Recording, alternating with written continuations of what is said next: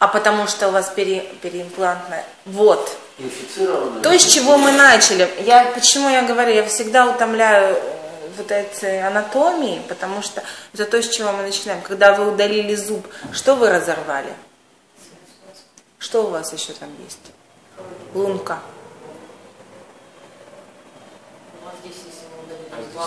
Здесь-то лунки нет. Для чего? Ничего нету. Там дыра в кости, которая должна зарасти. И по тому, как физиологическая регенерация, у нее есть сроки. Это не проститутка, ее нельзя положить за деньги раньше времени. Извините меня, пожалуйста. Меня просто достали с этими сроками. Почему? Потому что они все...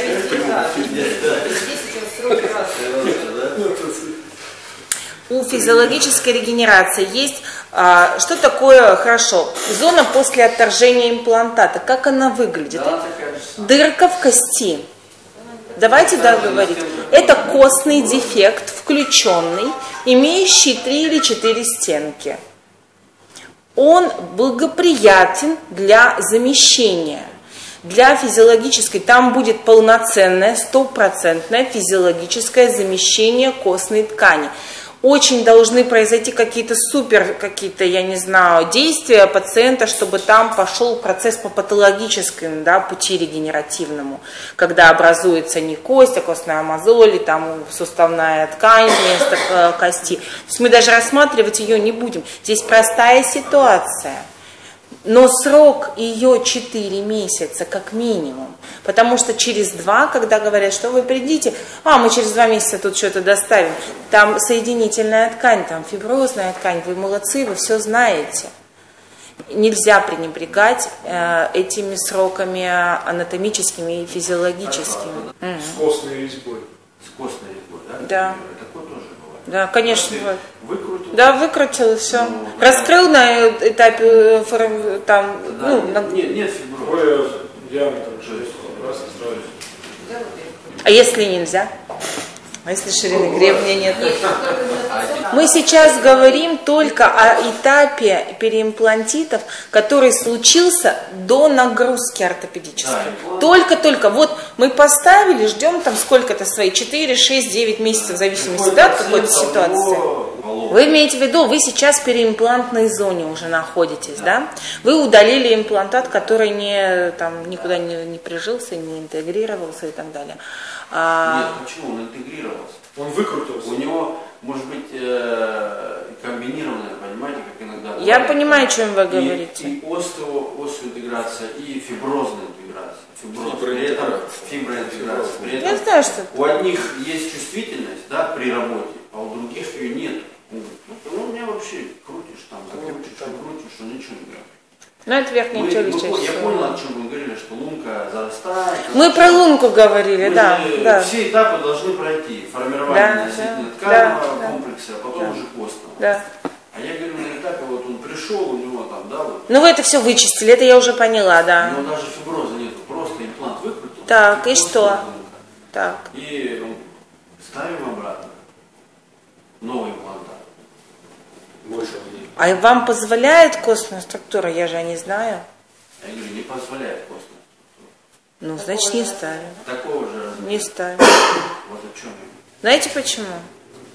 Потому что, скорее всего, что там уже контаминация микроорганизмов. А на имплантатах, вот по данным Тарно, и самые агрессивные микробы, которые собираются. Ну, Пористая поверхность, Да. э, собственно. Поэтому там контаминация. Не Я бы не ставила, я бы не рисковала. А. А зачем? Просто я не понимаю, зачем? Какой смысл такую гонку устраивать? Это что, какой-то паровоз у него уходит? Не идите на поводу у пациента. У меня так же, как и у всех, есть этот процент отторжения, да, нормального, как бы.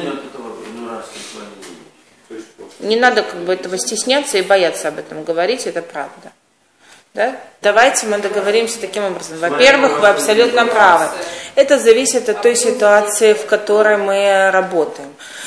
Если было тотальное удаление всех зубов на нижней челюсти по причине тяжелой э, степени пародонтита, Я никогда в жизни не прикоснусь раньше, чем через 4-5 месяцев к этому пациенту. Никогда.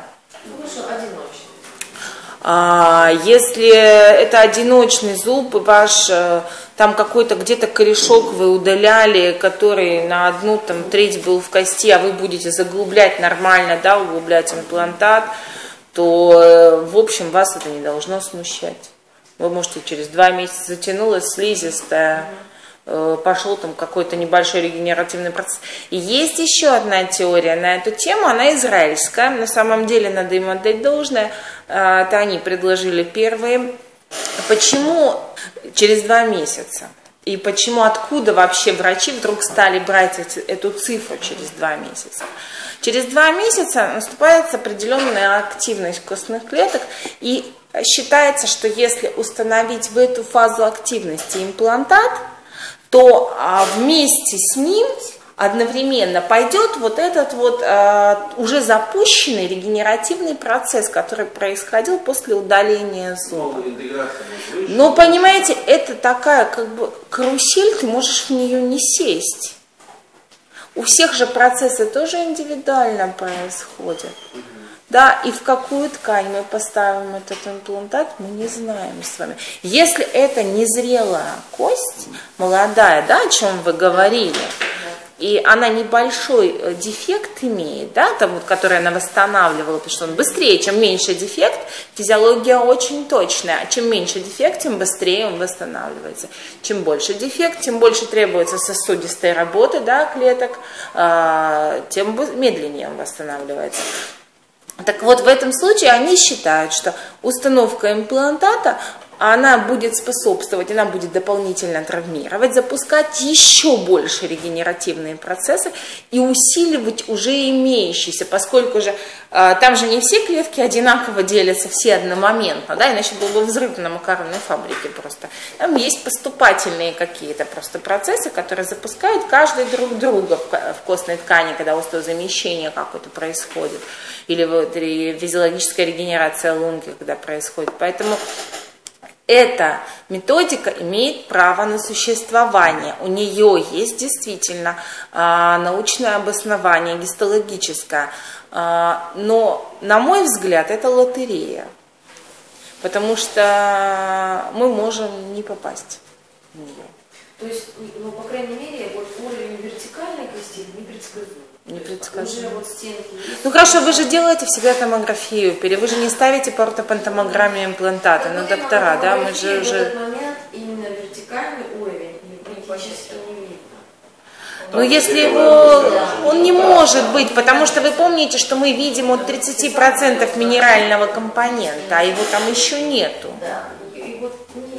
Понятно, почему отличается томография в этот период от той клиники, которую вы сделаете, вы разрезали и увидели, у вас там вроде такая живенькая кость. Вы помните, что в этом случае у вас не будет замыкательной кортикальной пластинки нигде.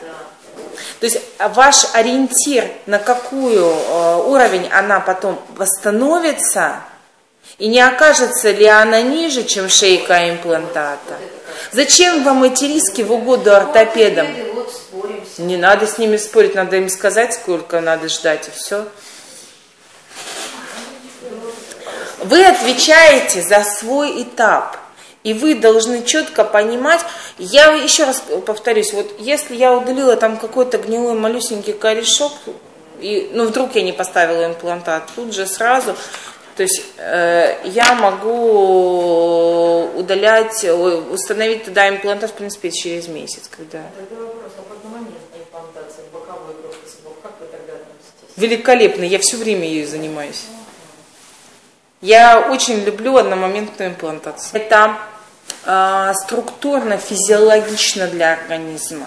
И мы используем мы не наносим травму, когда мы да, устанавливаем, распиливаем вот этот остеосклероз, да, мертвое вот это вот всю ткань, которая годами там э, была адентия и так далее, это все сжималось, атрофировалось.